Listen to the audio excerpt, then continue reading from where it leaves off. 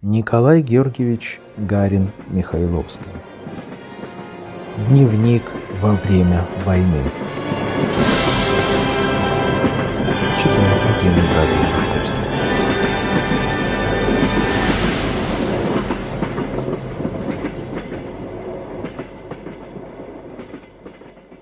Предисловие. Отправляясь в центр интереснейших событий нашей эпохи, я буду переживать их там, воспринимать, чувствовать. Я и все там находящиеся. В каждом из нас, как в каплях все того же океана, отразится переживаемое этим океаном. В свою очередь, передать это читателю, дать ему почувствовать то, что переживаешь, цель этого дневника.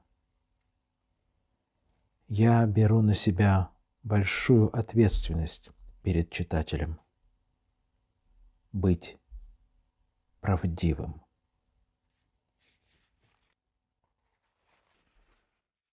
Двадцать восьмого апреля 1904 года. Волга. Мой поезд выходит из Москвы 29 апреля. Я пользуюсь временем и еду по Волге с тем, чтобы сесть на поезд в Самаре 1 мая. С Волгой очень много связано у меня в жизни, и для меня было бы очень тяжело не повидать ее еще раз, еще раз не пожить ее жизнью, проехать на пароходе, под шум колес вспоминать, думать, читать, писать. Сегодня я сел на пароход в Нижнем. Литературный кружок, провожавший меня, уже высадился. Я стою у широкого окна, и на душе пусто.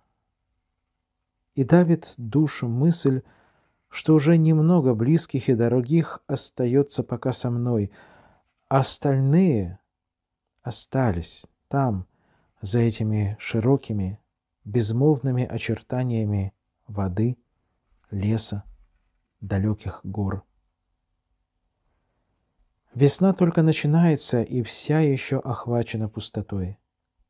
Едва приметна молодая зелень деревьев, только еще начинают зеленеть поля и подавляют эту начинающуюся жизнь бодная даль, до неба, до ветер. В уютном уголке где-нибудь на палубе тепло, нежно ласкает солнце — но на открытом месте пронизывает еще холодный ветер, и нет еще растворившей весь холод настоящей весны. Нет того мгновения, о котором говорят крестьяне «вздохнула земля». Мгновение, когда пар идет с земли. Пар и аромат и тепло. Когда холодный ветер сменяется млеющим, нежным, как ласка, ветерком, ветерком, который прозрачными волнами рябит над землей. И когда такая весна приходит, вовремя крестьянин крестится и думает «быть урожаю». Думает, но не говорит, боится с глазу. Вечереет. Из окна я вижу только небо до края берегов и весь воздух кажется голубым, совершенно голубым, сперва нежным, прозрачным, а потом густым, темным.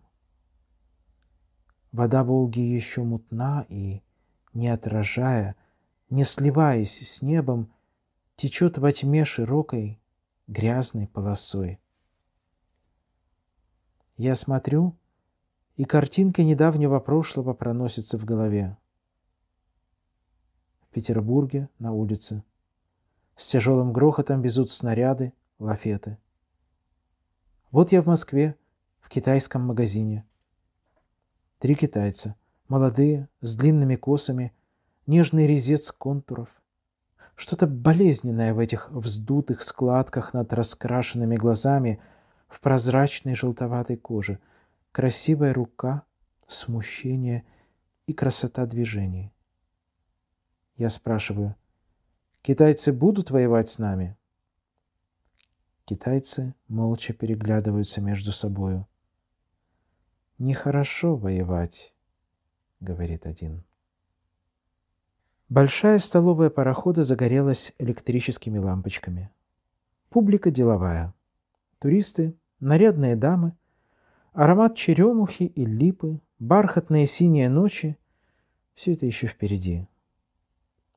Теперь же в большинстве за столами сидят купцы, то бородатые, старинные, то новые, внешним видом напоминающие иностранцев.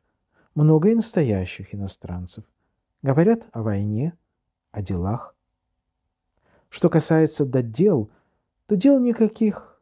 И единственный товар теперь – деньги, товар которого ни почем не найдешь.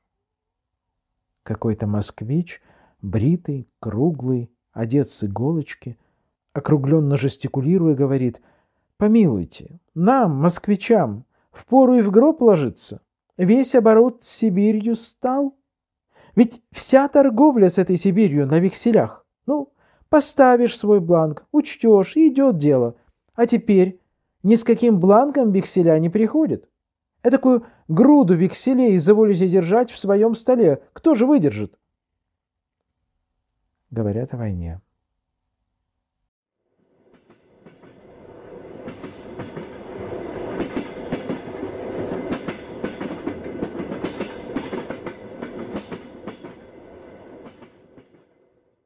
Читается по изданию Николай Георгиевич Гарин. Полное собрание сочинений. Том 6. Петроград. Издание товарищества Маркс. 1916 год.